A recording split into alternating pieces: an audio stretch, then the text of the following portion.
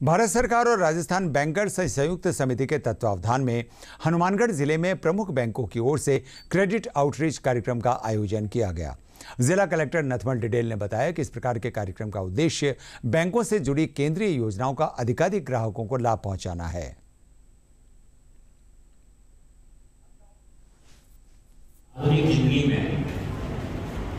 व्यक्ति जब कमाता है और अपनी आजीविका के लिए दौड़ता है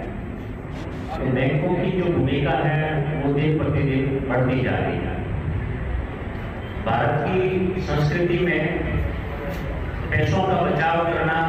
स्पेशली महिलाओं के द्वारा, गृहिणी के द्वारा माता जी के द्वारा, पैसों के बचाव करने की जो आदत है सेविंग करने की जो आदत है, वो भारत में बेहतरीन कल्चर भारत सरकार और राज्य स्तरीय बैंकर समिति के तत्वावधान में ये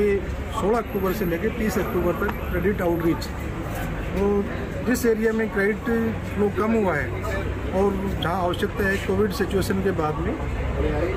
उन लोगों तक तो जो क्रेडिट का लाभ पहुँचाया जाए और जो केंद्र सरकार की सुरक्षा बीमा योजनाएँ हैं, उन बीमा योजनाओं में सभी जनधन खाता धारकों को कवर करना और जो लोग दो हज़ार चौदह के बाद में मेजर हुए हैं उन लोगों के बैंकों में खाते खोल के उनको बैंकिंग सिस्टम से जोड़ना है।